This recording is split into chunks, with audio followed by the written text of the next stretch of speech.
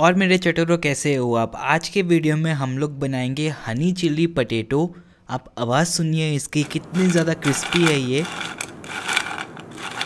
और जो हम लोग इसकी सॉस बनाएँगे, वो बिल्कुल स्पाइसी और थोड़ी सी मीठी और तिल के टेस्ट के साथ रहेगी। बहुत ही ज़्यादा बढ़िया रेसिपी है दोस्तों। शुरू करें क्या? दोस्तों, हनी चिली पटेटो की रेसिपी शुरू करते सबसे पहले तो हम लोग को आलू चाहिए मेरे पास यहाँ पर चार मीडियम साइज़ के आलू है। इनको मैंने लंबा लंबा काट कर तैयार कर लिया है। आप देख सकते हो, मैंने पानी में रखा है इनको ताकि ये काले ना हो जाए। बिल्कुल फ्रेंच फ्राई जैसे काटा है दोस्तों इनको। अब हम लोग इनको उबालेंगे। उबालने के लिए मैंने इन सभी को एक पैन में डाल दिया है। साथ में मैं नमक डाल दूँगा। आपने देखा होगा, मैंने बिना पानी डाला था आलू को। चार आलू में मैंने दो चम्मच नमक इस्तेमाल किया है। अब मैं इसमें चार कप पानी डाल दूँगा। मतलब एक आलू में एक कप पानी। अब हम लोग गैस को मीडियम रखेंगे और इसको गर्म करेंगे जब तक इसमें एक उबाल ना आ जाए। जब इसमें एक उबाल आ जाता है दोस्तों, तब हम लोग फ्लेम को लो कर देंगे मतलब फ्लेम को कम कर देंगे और इसको पाँच मिनट तक पकाएँगे। ये स्टेप करने से क्या होगा, इसकी मांड निकल जाएगी मतलब स्टार्च निकल जाएगा और साथ ही में आलू में टेस्ट आ जाएगा नमक का। अगर आपने मेरा फ्रेंच फ्राई का वीडियो देखा होगा तो आपको पता होगा, मांड निकालना कितना ज़रूरी है। पूरे पाँच मिनट बाद हम लोग का आलू बिल्कुल तैयार है। अब मैं इसको छान लूँगा और पानी फेंक दूँगा। आलू तैयार है दोस्तों। अब मैं ये आलू को एक बड़े मिक्सिंग बोल में डाल दूँगा और इसकी हम लोग पहली कोटिंग करेंगे इसको क्रिस्पी बनाने की, जो कि होगी सूखी कोटिंग। तो मैंने इसमें एक बड़ा चम्मच मैदा डाल दिया है। मैदा के साथ साथ मैं इसमें एक बड़ा चम्मच चावल का आटा डाल दूँगा। अगर आपके पास चावल का आटा नहीं हो तो आप कॉर्नफ्लावर भी इस्तेमाल कर सकते हो। वैसे तो आप चावल को एक बार मिक्सी में डालिए और इसको चला लीजिए, आपके पास चावल का आटा तैयार हो जाएगा।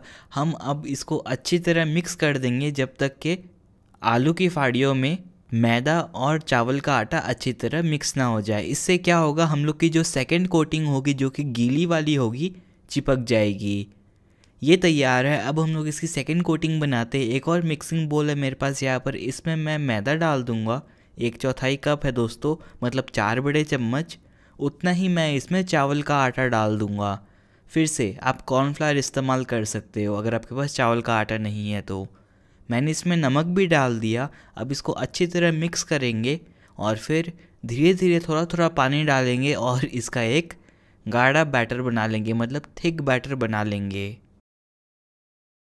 आप देख सकते हो दोस्तों, मैंने एकदम थिक बैटर बनाया है। अगर ये बैटर पतला होगा तो हम लोग का आलू ज़्यादा क्रिस्पी नहीं बनेगा। अब हम लोग इसमें आलू डाल देंगे, जो हम लोग ने पहले तैयार किए थे, और फिर हाथ से इसको अच्छी तरह मिक्स कर देंगे। आप देख सकते हो, बहुत ही बढ़िया कोटिंग हुई है ना आलू में। आलू बढ़िया लग रहे हैं, अब इसको पकाने की तैयारी कर लेते हैं। तो मैंने एक कढ़ाई गरम करी है, और इसमें मैंने तेल डाल दिया, क्योंकि हम लोग को इसको फ्राई करना पड़ेगा।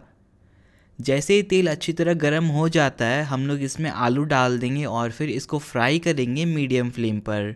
मीडियम फ्लेम में फ्राई करने से ये बाहर से एकदम कुरकुरे बनेंगे और अंदर से एकदम फ्लफ़ी बनेंगे दोस्तों।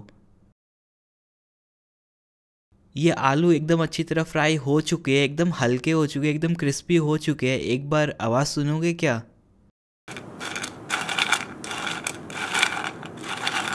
एकदम बढ़िया सुनाई दे रहे हैं कि नहीं, आप इस आलू को बिल्कुल ऐसे भी सर्व कर सकते हो। एक तरीके से आप फ्रेंच फ्राई भी कह सकते हो इसको। अब हम लोग तेल को एकदम हाई हीट पे रख देंगे दोस्तों और तेल जब तक गर्म हो रहा है तब तक हम लोग तिल सेक लेते हैं मतलब सेसमे सीड्स सेक लेते हैं। छोटे से पैन में मैंने तिल डाल दिया, अब हम लोग इसको रोस्ट करेंगे जब तक ये चटकने ना लग जाए। दोस्तों, तिल तैयार है, अब हम लोग क्या करेंगे? आलू को फिर से फ्राई कर लेंगे मतलब फ्लैश फ्राई कर लेंगे मतलब इसको गोल्डन कर देंगे। तेल अच्छी तरह गर्म है, मैंने आलू डाल दिया। इसको कंटिन्यू चलाते हुए एक मिनट पकाएँगे। इस स्टेप को फ्लैश फ्राई बोलते हैं। कलर देखिए, बिल्कुल बढ़िया लग रहा है कि नहीं?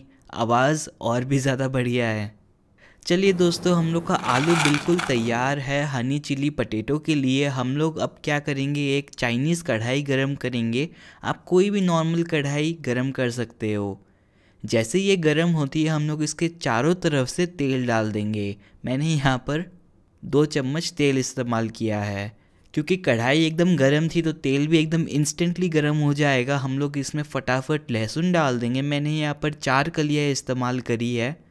उसी के साथ में हरी मिर्च डाल देंगे। जब नामी चिली पटेटो है तो हरी मिर्च तो डालनी पड़ेगी। हरी मिर्च के साथ साथ मैंने इसमें एक चम्मच कच्चा तिल भी डाला है। अब हम लोग इसको कंटिन्यू चलाते हुए एक मिनट पका लेंगे। एक मिनट पकाने के बाद हम लोग इसमें फटाफट प्याज डाल देंगे दोस्तों। आप चाहो तो प्याज को स्किप कर सकते हो। मैंने छोटा सा एक प्याज लिया था और उसी के साथ में मैंने थोड़ी सी कैप्सिकम भी ली है, क्योंकि चिली पटेटो है तो कैप्सिकम तो डलेगा ही अब इसको फटाफट मिक्स करके वापस एक मिनट पकाएँगे।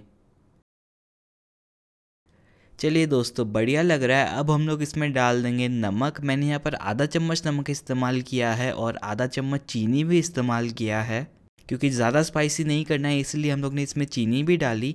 अब फटाफट हम लोग इसमें सॉस भी डाल देते हैं। मैंने यहाँ पर एक चम्मच सोया सॉस इस्तेमाल किया है। दोस्तों, ये लाइट सोया सॉस है। अगर आप डार्क सोया सॉस इस्तेमाल कर रहे हो तो एकदम कम करिएगा। साथ ही में मैंने एक चम्मच लाल मिर्च सॉस भी इस्तेमाल किया मतलब रेड चिली सॉस ये एक बड़ा चम्मच था। आप फटाफट इसको मिक्स करेंगे। आप धुआँ देखिए इसमें। ये धुएँ से ही पता चल जाता है कि कितनी बढ़िया रेसिपी बनने वाली है। एक मिनट तक अच्छी तरह मिक्स करने के बाद ये तैयार है। थोड़ा सा इसको बैलेंस करने के लिए मैंने इसमें थोड़ा सा केचप भी डाल दिया और फिर इसको मिक्स करेंगे। नाम इसका चिली पटेटो है तो इसको स्पाइसी होना भी ज़रूरी है तो मैंने इसमें थोड़ा सा काली मिर्च डाल दिया है। अगर आप बच्चों के लिए बना रहे हो तो ये छोड़ सकते हो। हम लोग इसमें पानी भी डाल देंगे। मैंने यहाँ पर आधा कप पानी इस्तेमाल किया है। अब ये हाई फ्लेम में है वापस दोस्तों, अब हम लोग क्या करेंगे? इसके लिए एक स्लरी बनाएँगे ताकि ये पानी मतलब ये सॉस को गाढ़ा कर सके। मैंने एक छोटे से बोल में एक चम्मच कॉर्नफ्लावर लिया है, उसी के साथ में मैंने तीन बड़े चम्मच पानी डाला है, इसको फटाफट मिक्स कर दिया और फिर ये जो कॉर्नफ्लावर और पानी का मिश्रण है ना, इसको हम लोग एक एक चम्मच करके डालेंगे, हम लोग के सॉस में। और इसको चलाएँगे। इससे क्या होगा? हम लोग की सॉस एकदम गाढ़ी हो जाएगी और एकदम सॉसी हो जाएगी। ये डालने से हम लोग के आलू में ये सॉस बहुत ही अच्छी तरह कोट होगी। बिल्कुल बढ़िया लग रहा है। आप देख सकते हो दोस्तों, गाढ़ा हो चुका है, एकदम बढ़िया लग रहा है। तो मैंने अब गैस को बंद कर दिया है।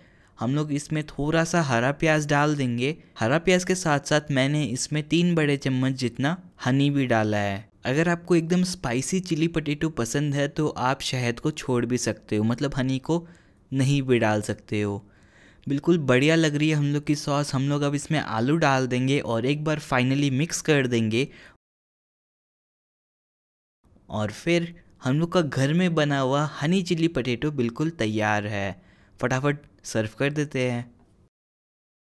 ये लीजिए दोस्तों, हम लोग का एकदम ज़्यादा क्रिस्पी एकदम ज़्यादा टेस्टी एकदम ज़्यादा चटपटा हनी चिल्ली पटेटो तैयार है। आप भी इसको ज़रूर ट्राई करिएगा। सर्व करने से पहले आप थोड़ा बहुत और गार्निश कर सकते हो। मिलता हूँ आपको जल्दी एक और टेस्टी वीडियो के साथ। और हाँ रेसिपी अच्छी लगी तो सब्सक्राइब ज़रूर करना। Bye bye take care